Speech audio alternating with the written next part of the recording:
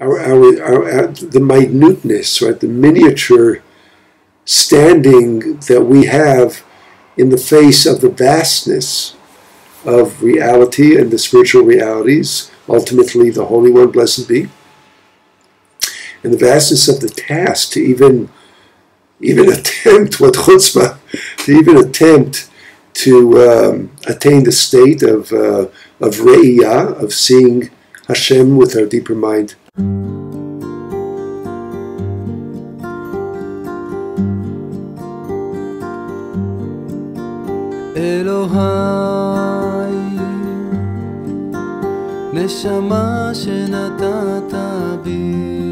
Welcome, everybody. We are um, again here on a Wednesday morning, stormy Wednesday morning on the East Coast of the United States. A beautiful day here in Haifa, Israel. And um, we're going to look at Parshat Ekev. And uh, we're on page, for those of you who are going to follow, follow with um, us in the book, in, in the text in the Slonimer, we're in Parshat Devarim, Parshat Ekev, in the book of Devarim. And we're on page Samechei Ira Otiot Re'iyah. It starts at the bottom of the page. And we are not going to have uh, my partner, Reb Eli Sofer, with me today. He's uh, he, he, had his power knocked out in um, in New York and has no internet connection. So um, let's jump right in. Another good uh, good Torah from the Slonimer. The question here is about uh, awe or fear. The, the word irah in, uh, in Hebrew is um, uh, kind of traverses that uh, very uh, subtle line between awe and fear of God. And it's a fascinating, deep understanding of that. We're going to start on the bottom of page Samechei. Here we go. Ve'ata Israel, ma Adonai Elokecha shoel mi'imcha. And now Israel, what, but what is God, uh, Adonai, your God, asking of you? Kim le'irait Adonai Elokecha. But to awe, be in awe or fear, irah, uh, your um, Adonai, your God. Now, this is a quote from the Parsha, from Ekev, and um, obviously it brings up a lot of interesting questions. So, uh, first question is from the Gemara. ואמרו חז"ל, ברכות ל"ג, and our sages said, אטו עיר המילתא זוטרא היא? אין לגבי משה מילתא זוטרא היא? Is it the case that uh, ira is um, is a casual term. And was it was it itself for Moses that for him era was a casual term? V'yedua kushiyat hamefarshim, and it is known that the uh, commentator have asked, דמה בכך שלגבי משה מילתא זוטרתא What's the big deal? They're actually referring here to the Gemara What's the big deal that Moses, that for Moses era, um, or is a casual word? Halo Israel. Since the Torah here is speaking to the entirety of Israel. So in other words, you can see that, that the commentators are having trouble with the Gemara you know, the, with the Gemara's reference, it doesn't seem to make sense. Kanu zutrata.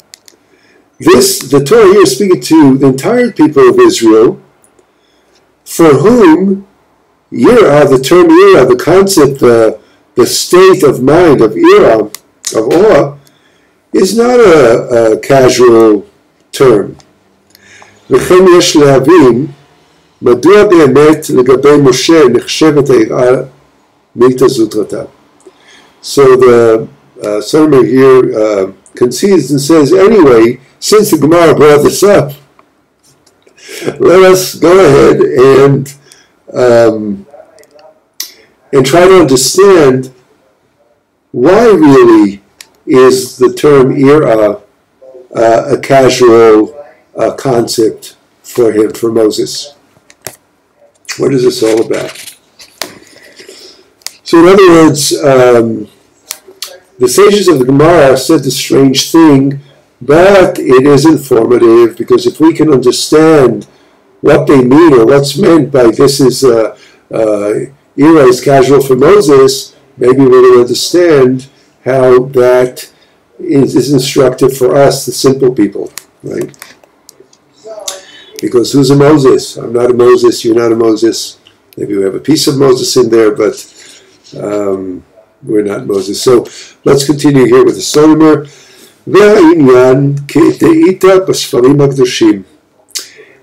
And this matter can be understood through what is brought in the holy books. That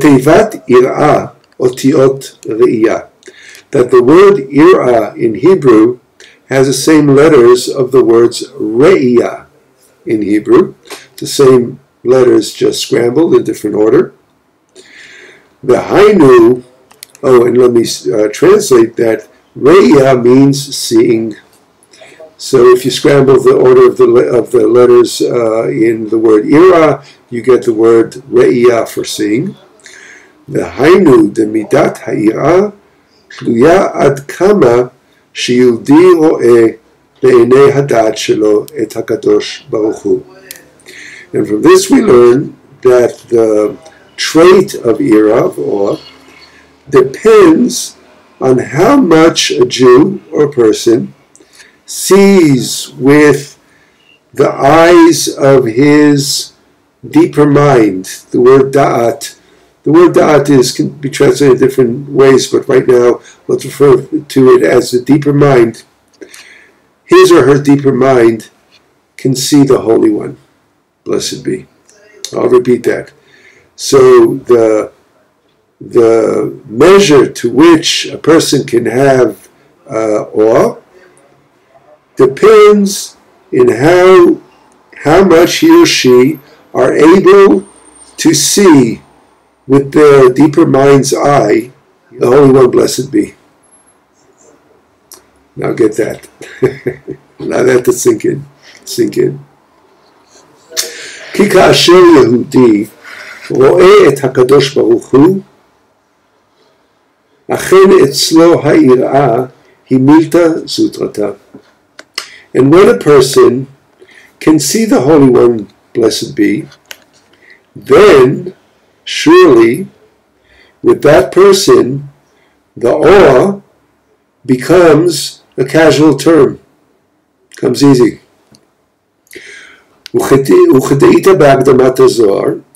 and as it's brought in the book Hakdamat Zohar, the introduction to the Zohar.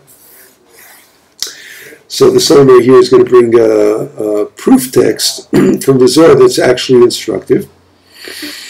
יראה דאיהי עיקרא למיתחל, ברנש למרי בגין דאיהו רב ושליט, Ika v'shosha dechol olmin. And now he explains, that was the Aramaic of the Zohar. Now he explains, v'hainu deka'asher Yehudi ro'ezot be'enei adat shelo. And thus, when a person sees this with the inner seeing of the deeper mind, the ilu Rav Shalit, what's the this?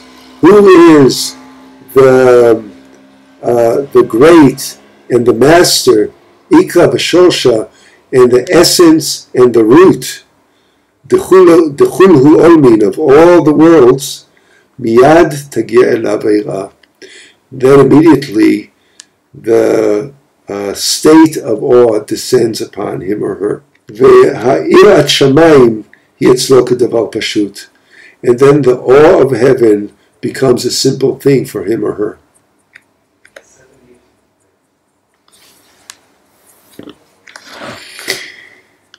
So let us here, we're now on uh, page Samach Vav, and we're going to actually skip uh, to the next column and the beginning of the first uh, paragraph um, at almost the top of the of the next column over.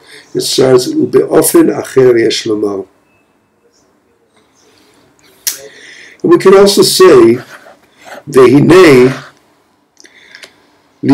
לזכות לראות בעיני הדעת את השם יתברך we can say that to merit to see with the eyes of the deeper mind, the Holy One, blessed be, the Hiu Rav Shalit Ikra V'Shosha Dechulu Almin, that uh, that the Holy One is the great and the master and the essence and the root of all the worlds.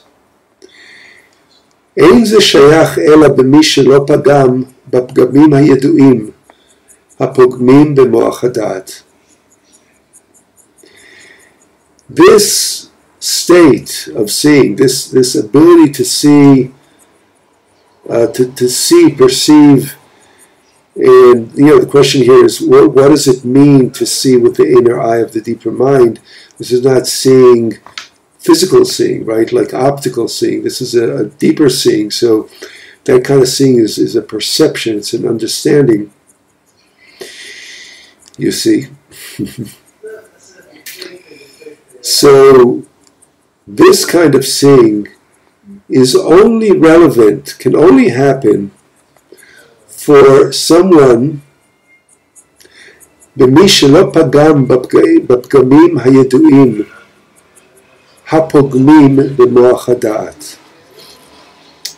This, this only belongs to or, or is available to those who do not disrupt with the known disruptions, and we'll open up what those known disruptions are in a second, that disrupt the deeper mind, moach hadat. As a then that person is merits to see with uh, the eyes of the inner inner knowing. The, the creator the blessed creator, מפני שאין מסכים המבדילים בינו לקדוש ברוך הוא. Because in that state, there are no screens that um, that differentiate between the person and the Holy One, blessed be.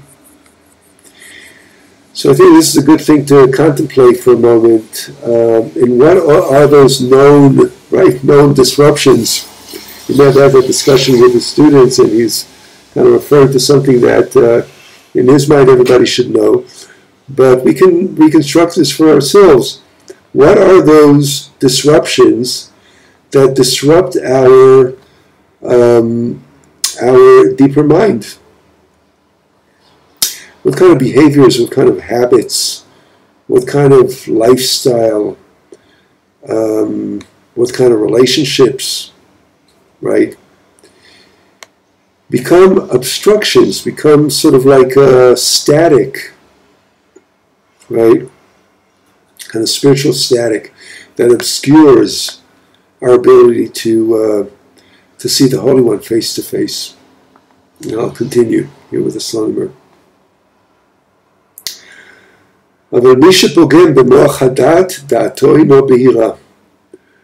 But one who uh, disrupts, injures, really. Pogem is a, can be both a disruption, a, a staining, or an injury. The moach hadat, in the deeper mind, his mind is not clear. He, his or her mind are not clear. ומסכים מבדילים ומסתירים ממנו לראות בגדלות הבורא יתברך שמו. And screens are um, become barriers and hide from him the um, the ability to see the greatness of the Holy One, uh, blessed be. והוא בבחינת עיניים להם ולא יראו, אוזניים להם ולא ישמעו. This person becomes as if, here's he's, he's quoting, uh, he's quoting the verse, uh, they have eyes and they cannot see, and they have ears and they cannot hear. That person does not see and does not hear because he or she has injured the deeper mind.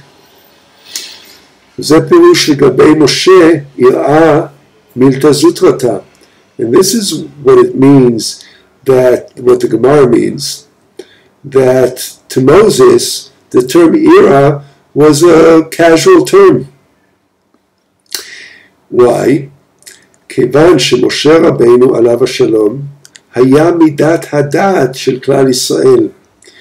Moses functions as the Sephirah, the Midah. So here he's kind of sliding into Kabbalistic terminology and a Kabbalistic paradigm. Uh, so in the ten Sephirot, the, the Sephirah of Da'at, of deeper mind, is is a pseudo Sephirah that sort of like is interchangeable with the, uh, with the Sephirah of Keter, of, of, uh, um, of crown.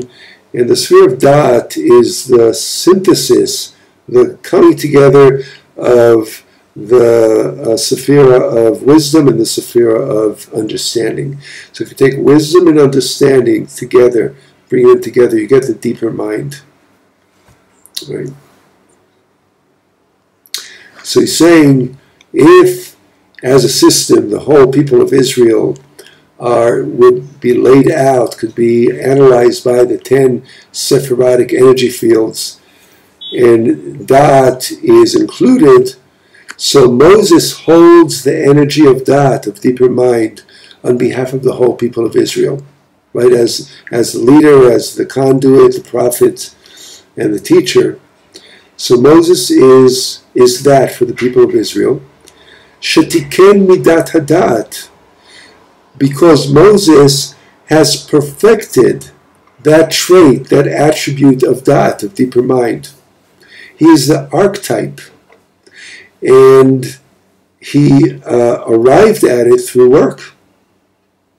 He worked on himself. He, he does not become the, uh, according to, obviously let's not take this literally, but according to the biblical account of years, he becomes the leader. He takes the people of Israel out of uh, Egypt when he's 80 years old. So he's had 80 years, 40 years in Egypt, 40 years in the Midianite uh, diaspora to work on himself. You know, he's a spiritual worker, he's a spiritual adept, and he develops and he, he cleanses and perfects this archetype of that, of that of deeper mind. And now it's, he's showing up as the leader he is that for the people of Israel.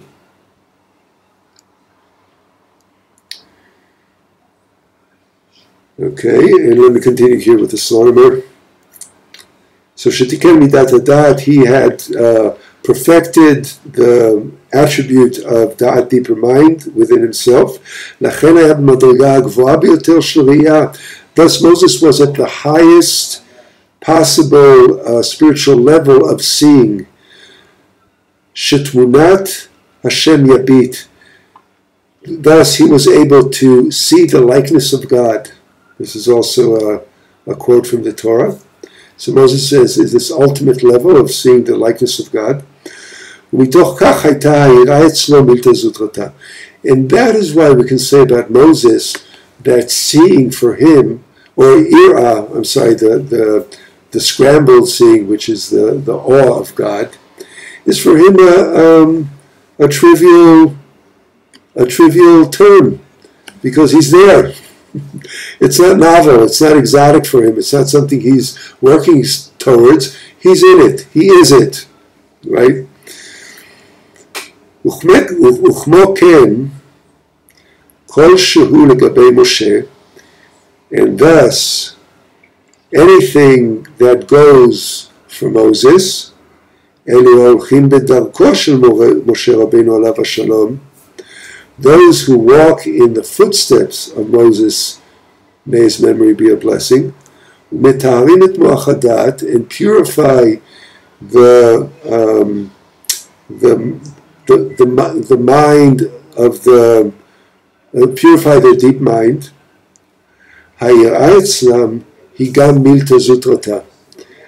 the, uh, the awe, or the state of awe, for them is also a trivial term because they merit to see through the eyes of the deep mind.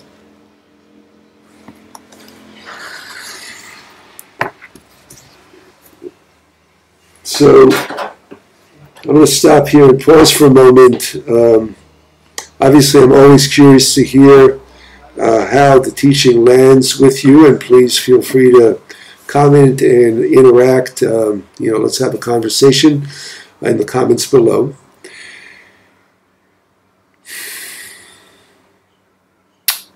I just want to say that um, it's interesting to be teaching uh, this core teaching on Ira and the awe of God on Tu B'Av, which is the holiday of uh, of love. It's, it's, a love holiday on the Jewish calendar. And in ancient times, so uh, young men and women would go out into the uh, vineyards and uh, literally chase each other and find and get matched up, right? So women would look for husbands, husband, uh, uh, men or young men would be looking for wives. So this is the celebration of love. And on the day of the celebration of love, the Torah offers us this teaching about awe, awe, fear, right? The word ear, eye is sort of like on the scale where there's awe on one, one side and fear on the other side. And somewhere in there, uh, where we know that uh, Irat Hashem and, and uh, Avat Hashem are two sides or two uh, um, halves of a full path towards um, growing and and uh, uh, and coming closer to uh, the Holy One. So on the day of of Ava, we're of love, we're learning about the the deep, deep, serious work in, in, in the realm of Ira. It's where we kind of get somber and we get um, concerned and we recognize our, our, our, our, the minuteness, right, the miniature standing that we have in the face of the vastness of reality and the spiritual realities, ultimately the Holy One, blessed be, and the vastness of the task to even even attempt what chutzpah, to even attempt to um, attain the state of uh, of re'iyah, of seeing Hashem with our deeper mind. But that is the path. That is the um, that is a task for which we've been dropped onto earth for, according to Kabbalah. So, when the Torah says, What am I asking of you but? Meaning, I'm not asking for much. The only thing I'm asking for you is Irat Hashem,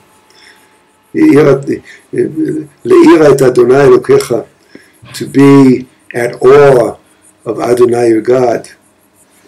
That's all. That's a simple thing the Torah is, uh, is, is asking us.